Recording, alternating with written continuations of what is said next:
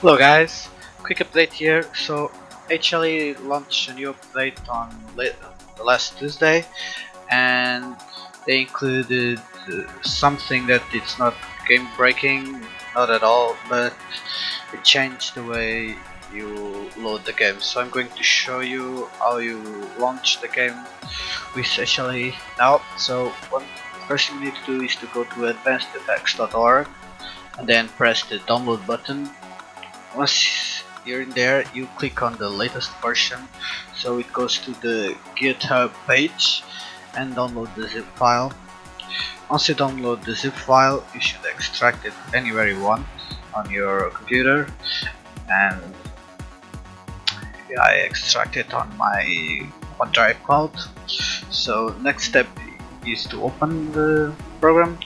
And remember that to launch CSGO you have to go to tools, developer, custom loader. So now you don't do that. So now you go to file and launch CSGO on the csgo.exe file you search the, the exe files. So I'm going to show you. It's going to steam steamapps common. Global Offensive and there it is your file then the movie making config parent folder. So what is this? Uh, with this update it's possible to for you to store your movie settings, your movie making configs anywhere you want on your computer. And yeah, let's do, let's do it. Enable, click on that thing to enable it and go to the folder where you have your movie making configs. So I have my on, on my OneDrive cloud there, that folder CSGO configs and let's move on.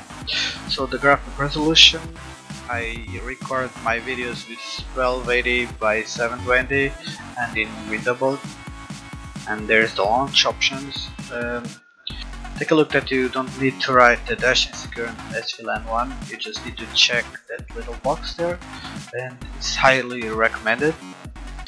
And click on the remember my change to save these presets and start shift CSGO So once you load the game, you will notice that your movie settings won't be loaded.